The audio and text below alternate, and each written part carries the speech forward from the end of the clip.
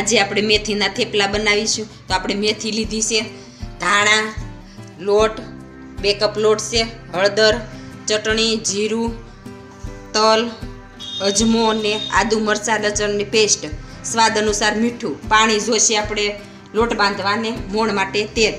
હવે આપણે લોટ સાળી લઈશું.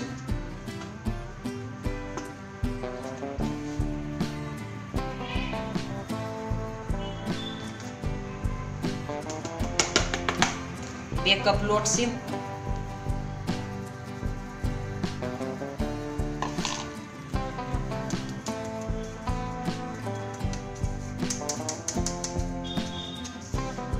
હવે આપણે લોટ સળાઈ ગયો છે. તો આપણે હવે મેથી નાખશું. આ મેથી આપણે ધોઈ નાખી છે.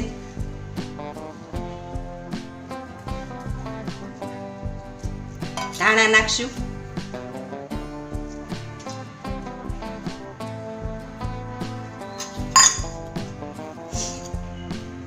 આદુ મરચાંની પેસ્ટ નાખશું.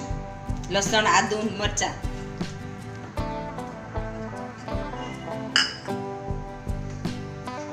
હળદર નાખશું. ચટણી નાખશું. ધાણા જીરું નાખશું. તલ નાખશું. અજમો નાખશું. આપણે બે હાથ વગર સોળીને નાખશું. એટલે સ્વાદ સારો આવે અજમાનો મોણ નાખશું.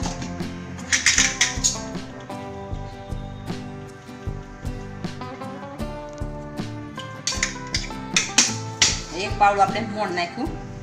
હવે આપણે બધું મિક્સ કરી લઈશું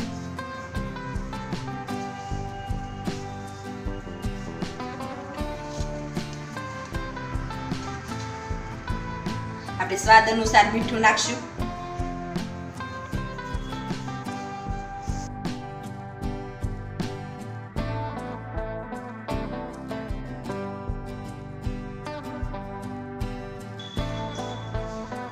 આપણે મીઠું ઓછું હોય તો આપણે ચેક કરીને નાખી શકીએ. આપણે મેથી વધારે નાખીએ એટલે લીલા બને આપણા થેપલા. મેથી અમે સારી એમ ખાવામાં. હવે આપણે લોટ બાંધી લેશું. થોડું થોડું પાણી નાખતા જાવ બાંધતા જાવ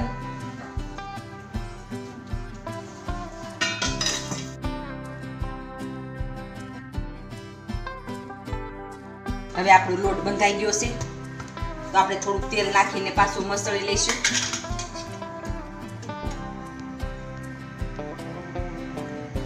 તમે આમાં સૂકી મેથી નાખી શકો. આપણે આ લીલી હોય, પછી આપણે સૂકવી દઈશું. એ મેથી તમે નાખી શકો સૂકવીને. લીલી મેથીનો સ્વાદ સારો આવે એમ. હવે આપણે આને દસથી પંદર મિનિટ રેસ્ટ આપી દઈશું લોટને.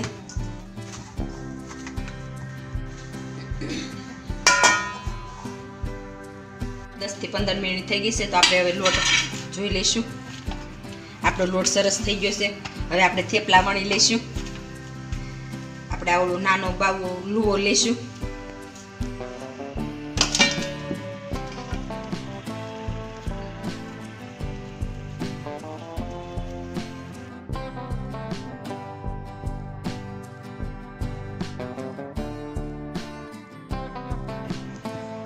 આપણે ઢીલો એને કઠણ એવો લોટ બાંધવાનો. એટલે આપણે વણવામાં ફાવે એમ. હવે આપણે પરોઠું શેકી લઈશું તેમાં આપણે તેલ સોપડીશું.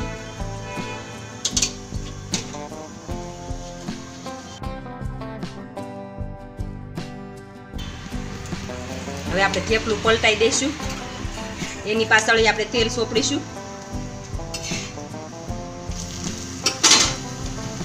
ગેસ ધીમો કરી દઈશું.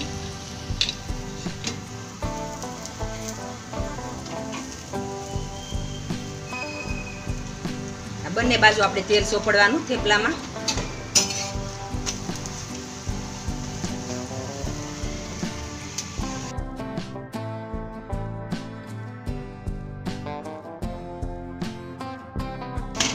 આપણું થેપલું સડી ગયું છે. તો આપણે નીચે લઈ લઈશું. બની ગયા છે. તો આપણા થેપલા તૈયાર છે.